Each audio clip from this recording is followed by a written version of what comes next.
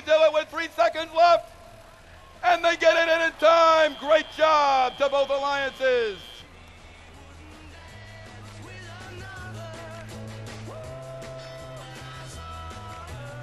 And the remote mode starts. Human players are at the wall. Oh, look at the defense put on by Boston Scientific. They're going to keep Crunch away, but Crunch is moving just a little bit too fast. Can Boston Scientific keep him away? Look at the defense. But Captain Crunch has the long arm, and they go on to another ring. Miss Daisy. Up, oh, Miss Daisy, they don't get stopped. They get on to the second level, but the ring falls onto the floor. They got to start over. 1583 Rambotics. They're doing some great defense with that big wall. Who's going to get past them? Oh, can Miss Daisy do it?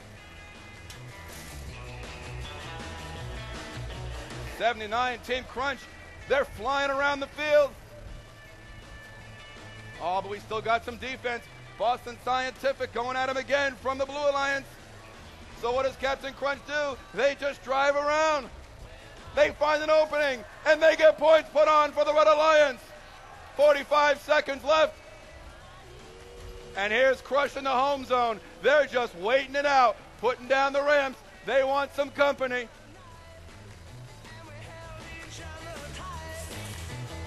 Twenty-one sixty-nine, Boston Scientific.